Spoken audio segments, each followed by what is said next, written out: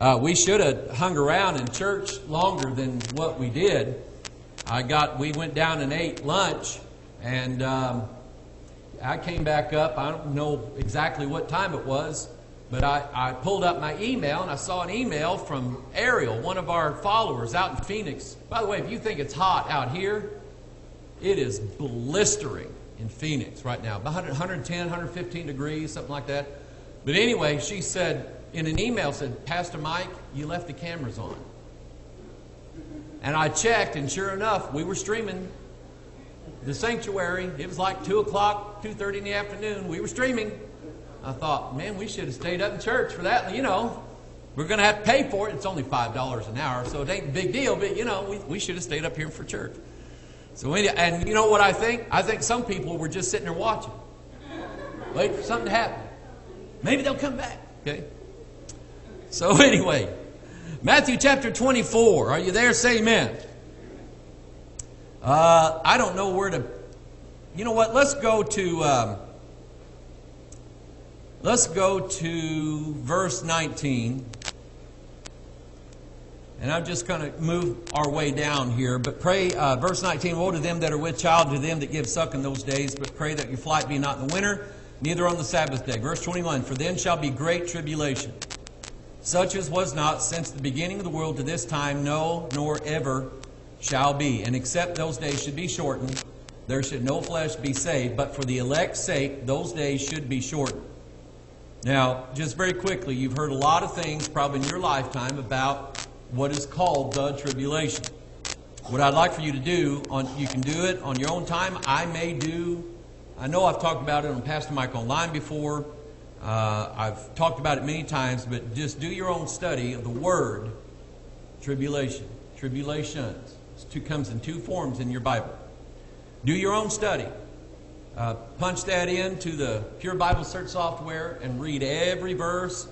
When you get to a verse, open it up and just kind of look around that verse to see what's being said and study that. All right? Um, to be honest, I have not found any indication that a time of tribulation lasts seven years. I have not found that in the Bible. And I know that's, that may rub some people the wrong way. I know that probably goes against the grain.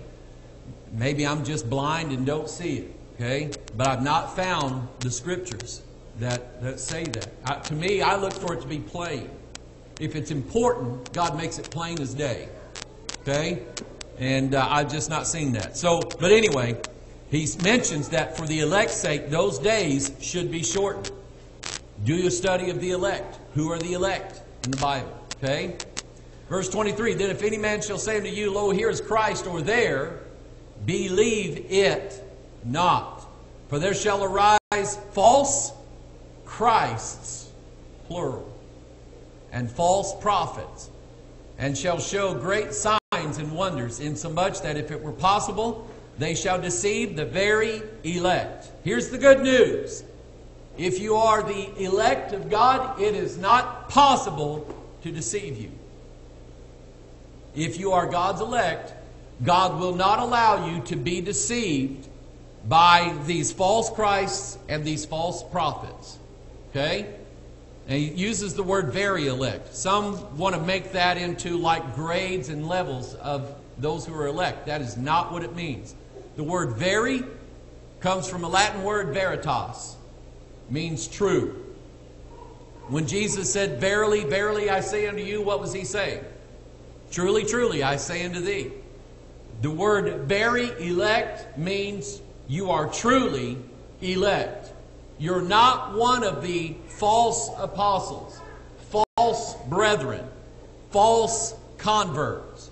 You're not one of the false church pew people who pretend to be Christian, but they're not really saved. They're not really born again. Okay? That's what very elect means. And if that's you, Here's what I'll tell you to do. In fact, God will lead you into it. Study the Bible. Know some things about this Bible. Let God ask God to lead you to know things about this Bible. I purposed in my heart years ago that I wanted to know this Bible. I don't think I've attained to it. If I did, I would go on a sabbatical. I'd go on vacation. Say, okay, I got it all. I'm out of here. I don't have it all down. I don't know it all. I'm still studying. But I believe that at this time, God's elect will not be deceived. Don't worry. If you're really saved, God's going to keep you from that. Meanwhile, the fake church pew people are going to be deceived. They're going to be part of a falling away. God is going to send them a strong delusion, and they are going to believe a lie or the lie, whatever it is, all right? So, verse 25, he said, Behold, I have told you before. Wherefore, if they shall say unto you, Behold, he is in the desert, go not forth. Behold, he is in the secret chambers, believe not. For as the lightning cometh out of the east, and shineth even unto the west, so shall also the coming of the Son of Man be. My ancestors are buried in Marcus Hill Cemetery, in, uh, near, right next to Marcus Hill Baptist Church, near Enola, Arkansas. And every one of their graves are facing east. Okay? Why? Because that's, I mean, there's no, there's nothing in the Bible says if you're not facing east in the grave, you're not going to go. Okay? It doesn't say that. But it's, it's, it was one of those traditional things that our forefathers did that when they buried their, their loved ones as Christian people, they buried them facing the direction that Jesus is going to come in the resurrection. Okay? Because the idea was they want to be facing Jesus, not turned away from him. That's not bad, amen? Not bad. So, whoever, if you're still around when I go, when you bury me, bury me facing east. Okay? I don't want to have my back turned on Jesus. Amen? Where's the amens into this place tonight? Who are you people anyway? Huh? They left? The amens didn't the amens didn't leave, I guarantee you that. Anyway, verse 29. Immediately after the tribulation of those days shall the sun be darkened, and the moon shall not give her light, and the stars shall fall from heaven, and the powers of the heavens shall be shaken. There's many scriptures that talk that touch on that. Then shall appear the sign of the Son of Man in heaven. What is the sign of the Son of Man? What's going to be that sign? Is it like the peace sign? Is he going to be doing this? No? Thumbs up? What is his sign? Huh? Huh, John? In the clouds. That's what it says. And then shall appear the sign of the Son of Man in heaven, and then shall all the tribes of the earth mourn, and they shall see the Son of Man coming in the clouds of heaven with power and great glory. There's your sign, there's your sign right there. And he shall send his angels with the great sound of a trumpet. Look at there. And they shall gather together his elect from the four winds, from one end of heaven to the other. Now learn a parable of the fig tree. When its branch is yet tender and putteth forth leaves, you know that summer is nigh. So likewise, when ye shall see all these things, know it is near, even at the doors. According to Matthew 24, the fig tree is all these things. Okay? The fig tree here is all these things that he said was going to happen. Now, you may have heard that the fig tree was. Anybody know? What's the common teaching or idea on this, who this fig tree is or what this fig tree is? Anybody know? Israel. Okay? It's based upon one verse in the Old Testament where God equated Israel to a fig tree. But in other passages, like in Luke and Mark, where this teaching is repeated, Jesus not only mentioned fig trees, but he mentioned all other trees. So we're not just dealing with just a fig tree, but he uses the fig tree as an analogy. And he's referring to all these things here in Matthew 24 that's going to happen. And he's saying, when you shall see these things come to pass, get ready. Okay? Get ready. So likewise, when you, you shall see all these things, know it is near, even at the doors. Verse 34 Verily I say unto you, this generation shall not pass till all these things be fulfilled. Notice that he said, this generation. Okay? This generation. How long is a generation? Does anybody know? Caleb? A thousand years. Well, used to be. Several thousand years ago, it, it was pretty close, used to be. 100 years? My grandmother, my great grandmother lived to be 101. Okay? I'll ask you this Does the Bible ever say how long a generation is? Not that I found. Never seen it. Okay? I know the book of Psalms talks about 70 years. My dad lived just as long as the Bible says you should be 70 years. Okay? Then he went to, when he, then he went to glory. But the Bible doesn't actually fix a time on the word generation. Okay? So does it mean something else? I think it does. And I think it has to do with what the purpose of the ark. The purpose of the ark. Why did God tell Noah to build an ark? What was, what was he going to do with that ark? Okay? And that's what we're going to study. But think of the word generation. It has the word gene in it. And it literally, if we were just to apply it the way, the simple way the Bible does, a generation is I'm one generation, my father and mother were a different generation, and my children are a generation below me. My grandchildren are a generation below them. They're two generations below me. The word generation literally means to generate offspring. Okay? And it, it has in its depth, in its core meaning, genetics, DNA. I'll just tell you, I believe with all my heart that mankind is on a course to alter the DNA that God gave him in Adam. How many of you believe that? That's everywhere. You are, you are in the generation of people who are going to see scientists remake human beings. Take them with the DNA that they inherited from Adam and take that DNA and apply their hands to it and rewrite it and rebuild it and remake human beings with the hands of men instead of the way God wrote their DNA out. The same thing is for the scholars and the really, really people who think they're really smart take this Bible, take things out, put things in, rewrite things that are in it because they don't like it, because they think it's an error, because it doesn't agree with what they their outcomes or whatever. Same thing with humans, or the same thing with mosquitoes. Alicia, first time, no, not first time she went to Kenya. First time she went to Kenya with us, First time she went, first time she went to Kenya, she got malaria. Or is it malaria? It's more like malaria, isn't it? It was malaria, okay? Ends up in a Kenyan hospital for a few days. Sick. Well, now they're taking the mosquitoes and they're rewriting their DNA so that they don't pass on the malaria germ or the mosquito kills the malaria germ or whatever, but they're rewriting the mosquito's DNA.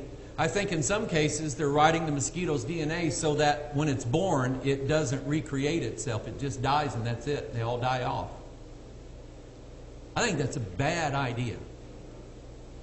I think man plays God with God's word, God's DNA. I think man plays God with that, and man doesn't know enough about what he's doing to do it. Amen? But I absolutely think that mankind is going to have his DNA changed, and this generation, this generation shall not pass till all these things be fulfilled. Think about that. Okay? Heaven and earth. Oh, verse 35, one of my favorite verses. Heaven and earth shall pass away, but my original manuscript shall not pass away. Does not say that, does it? My words, plural, shall not pass away. And notice, it's in right in the context of this generation shall not pass. Isn't that cool? Listen, God's word that He wrote, that He put in us, it's not going to change. It's not going to pass away till heaven and earth pass away. Amen?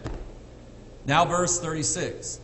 But of that day and hour knoweth no man, no, not the angels of heaven, but my Father only. But as the days of Noah were, so shall also the coming of the Son of Man be. For as in the days that were before the flood, they were eating and drinking, marrying and giving in marriage, until the day that Noah entered into the ark, and knew not until the flood came and took them all away, so shall also the coming of the Son of Man be. So he said it's going to be as it was in the days of Noah. Now, last week, uh, turn to Genesis 6. And uh, last week, let me go back here. We were talking about the various uh, places in history that have a flood story similar to the story in your Bible. The story in your Bible is the correct version. The other stories are the fossilized remains of what really happened. In other words, there's pieces missing, names got changed. Uh, it's not God destroying the earth, it's the gods that are doing it, and so on. But the core idea is still the same. Every civilization on this planet, there's stories told that the world, the earth, was destroyed with a flood and yet, God saved some people through it, and God saved some animals through it. God saved grain through it, one of the stories told. Genesis chapter 6, verse 5 God saw that the wickedness of man was great in the earth, and that every imagination of the thoughts of his heart was only evil continually. And it repented the Lord that he had made man on the earth, and it grieved him at his heart. And the Lord said, I will destroy man whom I have created from the face of the earth, both man and beast and the creeping thing and the fowls of the air, for it repenteth me uh, that I have made them. But Noah found grace in the eyes of the Lord. So, according to what Jesus said, we're going to enter into a time where the imagination of the thoughts of man, lost people, will only be evil continually. How much longer do you think, where we are now, how much longer do you think is that going to take? Shoot, it could be another five hours from now. The way things are going. Lost people right now, they're very lost.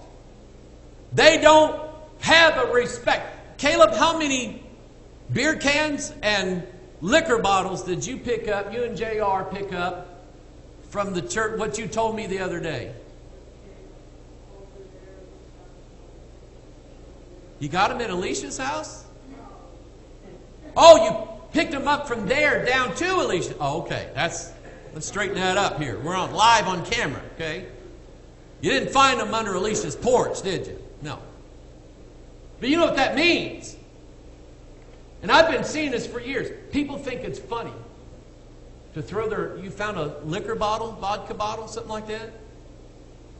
I asked him if there was anything in it. He said, Not anymore. People don't think people think it's funny to throw their beer cans and liquor bottles in the churchyard. That was unheard of a couple generations ago. You could be lost, but you didn't throw your empty beer cans and soda and beer bottles in the church lawn. I've seen them bust beer bottles up against the church sign before. Okay? We had a big stain, beer stain, running down the face of the church sign years ago. Somebody busted their old beer bottle up against it, thought it was funny. People are very, very, very lost today, and it's getting worse and worse and worse. And I'll just tell you this media has a lot to do with that. People are being bombarded almost constantly with images sounds, voices, words, pictures, depictions, you name it.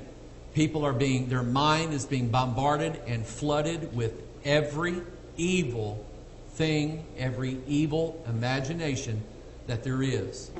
And it's not getting any better. It's getting far. Children,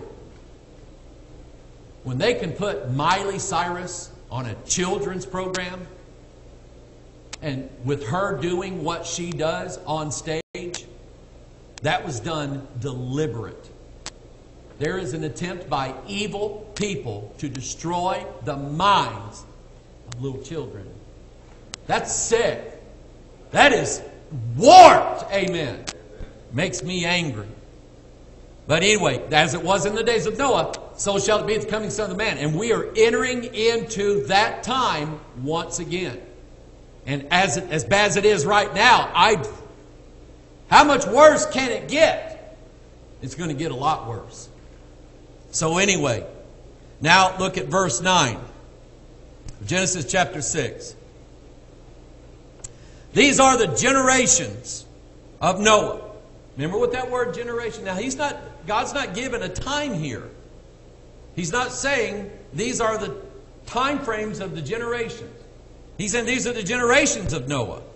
The generations of Noah were, in verse 10, Shem, Ham, and Japheth. That was his generations. And then in Genesis 10, you have the generations of Shem listed, the generations of uh, Japheth listed, the generations of Ham listed. It's not dates, it's not times, it's not length of years, it's bloodlines, DNA bloodlines genetics, genetic lines, and so on. All right? Uh, let me give you this, I'll uh, show you how simple this is. Three sons of Noah coming off the ark to procreate everybody that's on the face of the earth. Incidentally, but not accidentally, you have three primary races of people. Primary races Caucasoid, Mongoloid, Negroid each of those races of men descended from the three sons of Noah. The three sons of Noah probably were very unique and different in their genetic structure. Japheth looked like one group of people. Uh, Shem looked like another group of people. Ham looked like another group of people. Michael's, just I talked to Michael. I said, Michael, how, where, where do you see your lineage coming from? And he said, Ham. He said, my people are, and he told me, he said, that's what we, that's what we were taught. What we, you know, grew up knowing was that we descended from Egypt through Ham. And he knows it. So his generation is a Hamite generation. I think probably we're Japheth okay, the Europeans. And Shem is those of the Middle East and into the Far East, okay? Three primary races, three sons of Ham. Have you ever thought about that before? Okay? And basically, every human being on the planet is either of a I don't know that there is anymore a pure descendancy, a pure line. There might be. But every human being on the planet is from one or a combination of those three primary races. Okay? Um, I like to study things like this because I, cause I think it shows you the truth of the Bible. If you read Genesis 10, you can see those, those races of people. All right? So these are the generations of Noah. Noah was a just man. And I want you to notice verse 9. It says it was perfect in his generations. It does not say that Noah was perfect. It does not say that Noah was more righteous than anybody else. It does not say that Noah's deeds were better than everybody else's deeds. It says nothing about Noah's character. But it talks about Noah's generations, the genetics, the DNA that he handed down to his three sons, Shem, Ham, and Japheth. Okay? And that's important. And Noah walked with God. Noah begat three sons, Shem, Ham, and Japheth. The earth also was corrupt before God, and the earth was filled with violence. God looked upon the earth, and behold, it was corrupt, for all flesh had corrupted his way upon the earth. Now, I used to look at this and think that all flesh was a reference to every animal, every human being, every fish, every dog, every cat, every cheetah, lion, lizard, things like that. I'm not so sure that that's the case. I may be wrong, but I'm not so sure that that's the case. I think that all flesh here corrupted his way upon the earth is a reference to all mankind. Because it says his way. And that just kind of leads me to believe that it's referencing mankind. Let me tell you the big picture of why I think that. Okay? Let's say that Phil. How you doing, Phil? Let's say that Phil, he's been reading a lot of comic books and watching the Avengers, and he plays a lot of video games. And let's say that uh, five years from now, they can change people's genetics and get rid of cancer and can get rid of glaucoma and can get rid of Alzheimer's, and they can make people like Phil leap over tall buildings with a single bound. And he wants to be a superhero. Spider Man, there's a new Spider Man movie coming out, and his genetics are altered. Okay? Uh, the Hulk, his DNA is altered. Captain America, his DNA is altered. Keep going with all these superheroes. It all is their DNA has been altered, and now they have these superpowers. So Phil wants to leap tall buildings with a single bound. He wants to be faster than a speeding bullet, more powerful than a locomotive. So they tell Phil, Phil, we can alter your DNA. You'll have the strength of an elephant. You'll be able to leap like a kangaroo. You'll be faster than a cheetah. We can do all this stuff, and we can make you that. And so Phil says, bring it on. I want it. That's not going to happen, is it, Phil? No. See, Phil's made a choice, like the rest of us. I've already decided that no matter what disease I have, my wife has, my family has, we're going to die with the same DNA God gave us. Okay? So all flesh had corrupted his way. We're living right now in the time when there are people who are already making decisions and telling the doctors go ahead and change my DNA. That is corrupting his genes. It is corrupting his flesh from the way God intended for it to be. Does that make sense to everybody? All flesh had corrupted his way. It implies here that it was a choice that man made and he was somehow given the ability to follow through with it. So all flesh had corrupted his way. So at this time, from what I can see in the Bible, all of mankind had been corrupted in their genetics, except who? Noah. Noah was perfect in his generations. He made the choice not to corrupt the way that God had made him. Okay? So, verse 13 God said unto Noah, The end of all flesh is come before me, for the earth is filled with violence through them, and behold, I will destroy them with the earth. And so I think mankind has been corrupted. The genetics of mankind throughout humanity has been corrupted. And there are only eight people who have not corrupted their way Noah, his wife, Noah's sons, and their wives. They had not corrupted their way, their DNA, their genetics, their generations. All right? Um, remember last week what I said? That the devil is, I think, covering this up. Okay? And it wasn't Ryan that sent that to me. It was. Now I already forgot who it was. That's my week. That's how I run. I sampled three of the modern versions of the Bible the NIV, And what I sampled was verse 9. Noah was a just man and perfect in his generations. The NIV says this is the account of Noah and his family. Noah was a righteous man, blameless among the people of his time, and he walked faithfully with God. But it doesn't say anything about his generations. The Holman Christian Standard Bible. These are the family records of Noah. Noah was a righteous man, blameless among his contemporaries. Noah walked with God. But it doesn't say anything about his generations. The New American Standard Bible, which everybody says, oh, that's the most literal to the Hebrew. These are the records of the generations of Noah. Noah was a righteous man, blameless in his time. Noah walked with God. It mentions his generations, but when it comes to that word generations, it only mentions that it's a record of his generation, but it doesn't mention that his generations were perfect. It doesn't say that.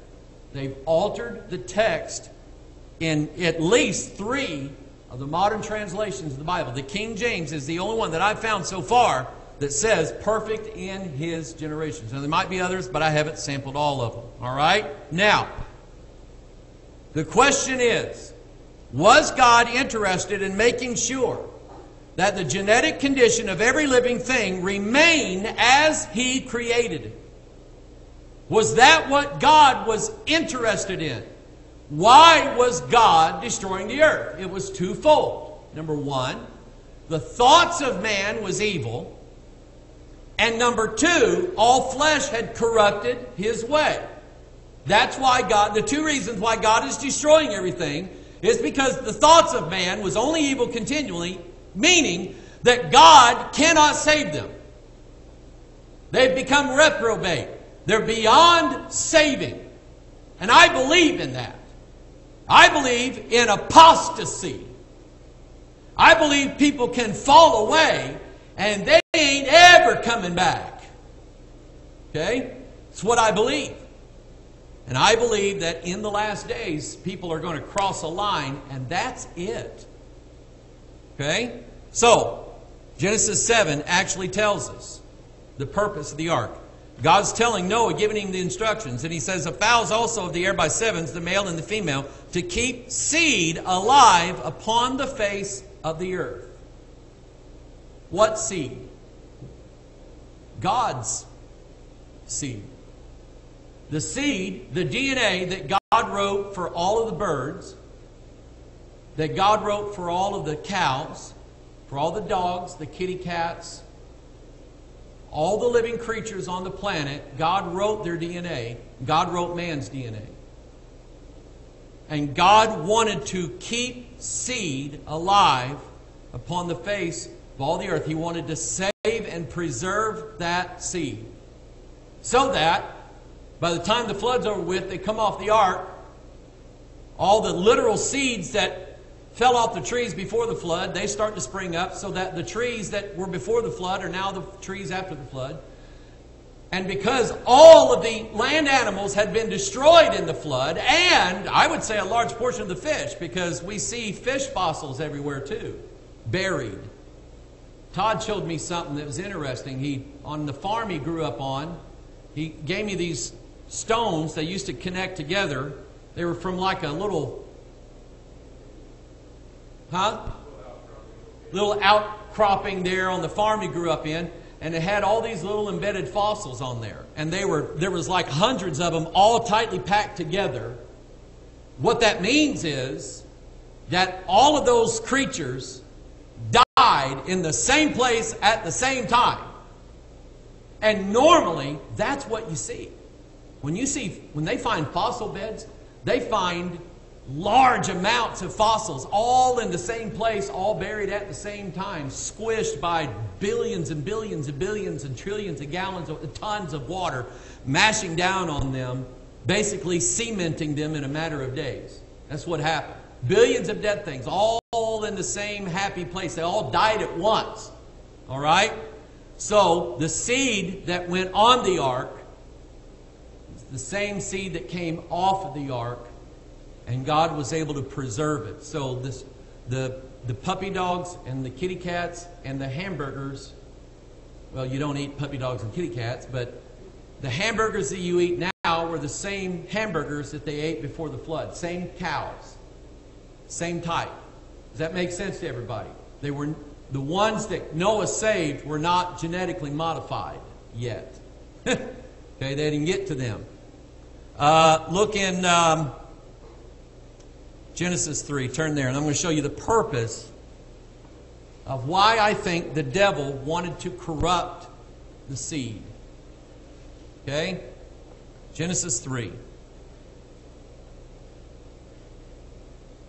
And when we before we read this, let me preface it this way. Who in here has heard or read of stories of three parent children? Three parent children. Know what that is? Britain's doing it.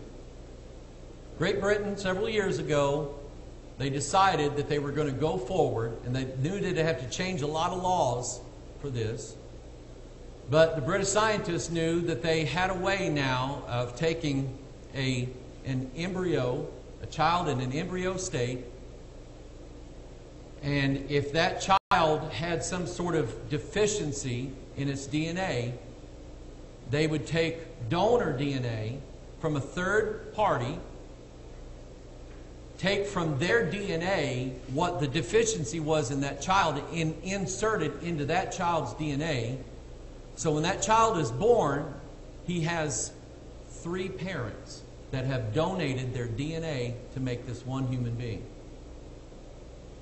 See, I'm getting little doodads back here just thinking, because that is like beyond Frankenstein creepy. My birth certificate doesn't have a place on it for the third parent. You see what I'm saying? All these genealogies in the Bible, you see them from. That's how it's been throughout history. Now we're altering the course of history. Because children that have three parents can have four parents. Why not five parents?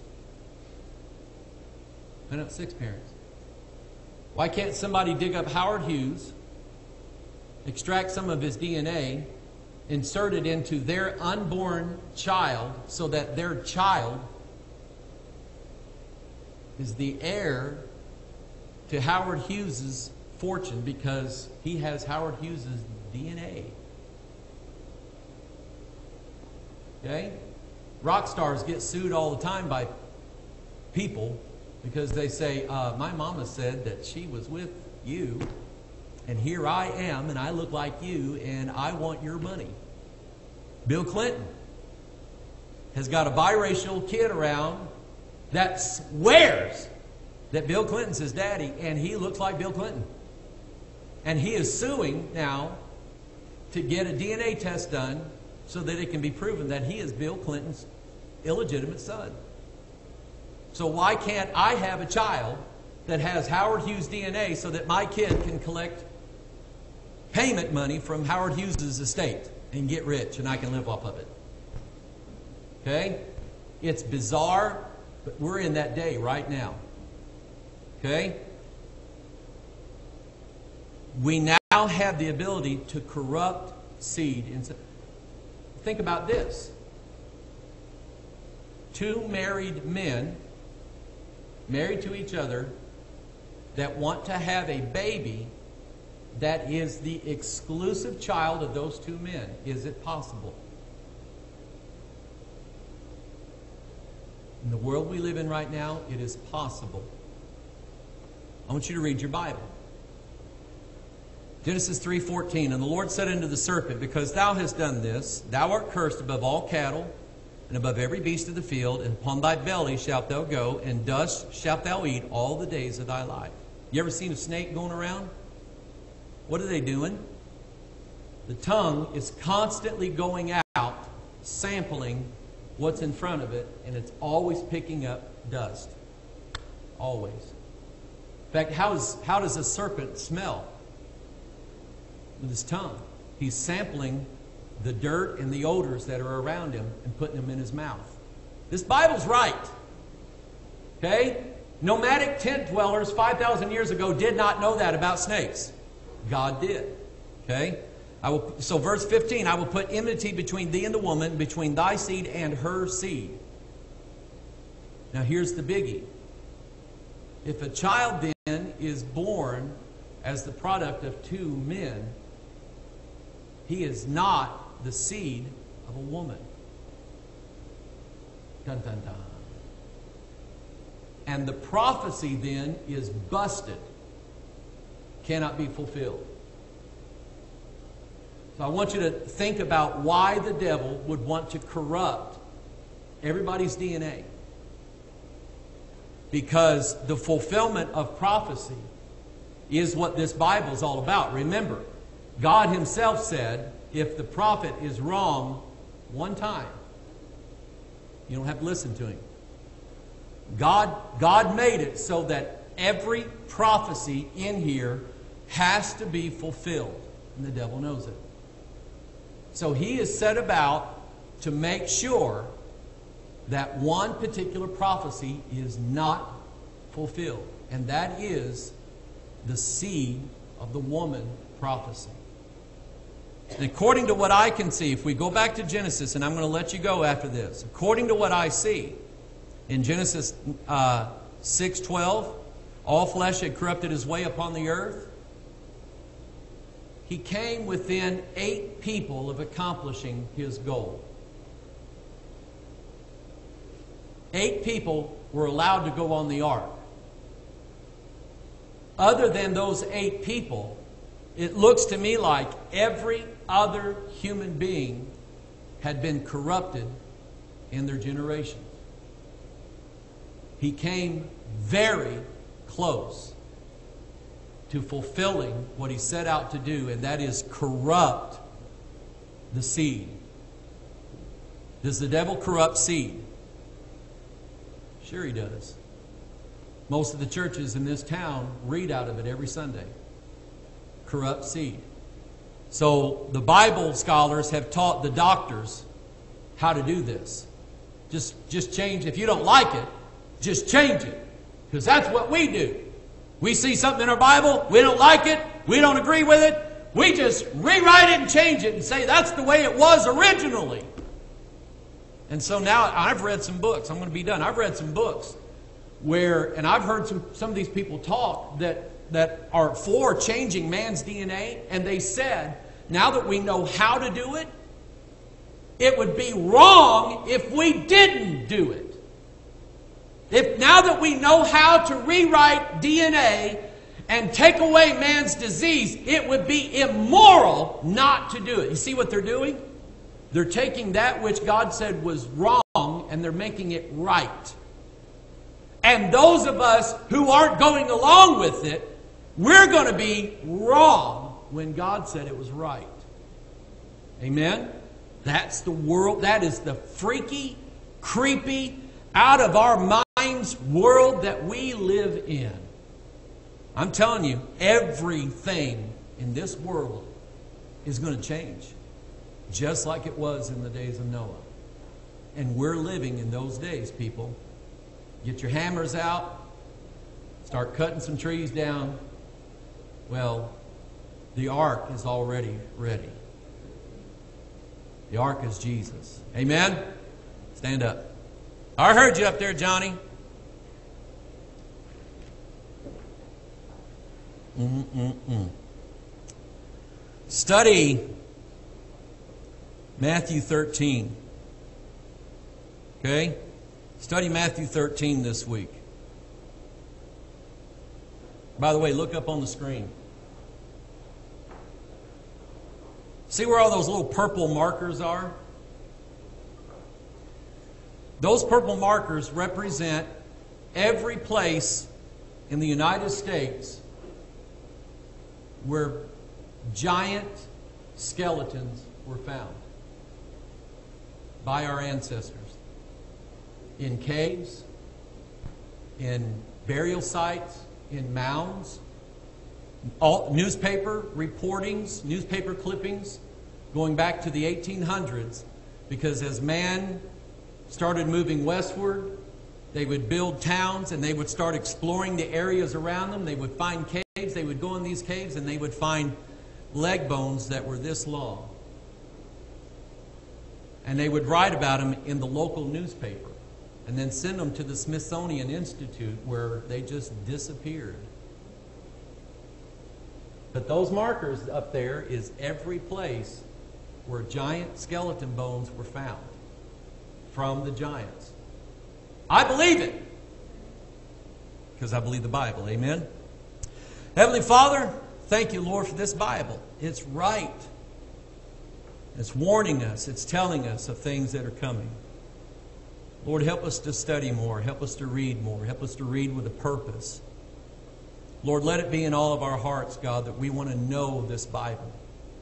You promised that the very elect would not be deceived by what's coming in these last days. So, Father, lead each one of us into a place, Lord, in our Bible. Give us knowledge, give us instruction. And Father, just take verses and just plant them in our minds, in our hearts somewhere. And Father, when the, when the day gets here, when the day of deception gets here, the Holy Ghost will pull those verses out and we'll know why we knew that. And we'll know not to be deceived by what's being told of us. Thank you, Lord, for teaching us. Open our eyes. Father, if there's anything, anything that I said tonight that was out of line with your word, God, correct me and correct it in the hearts of these that heard it tonight. Bless and honor your word, we pray in Jesus' name. And all of God's people said, Amen. God bless you. You're dismissed.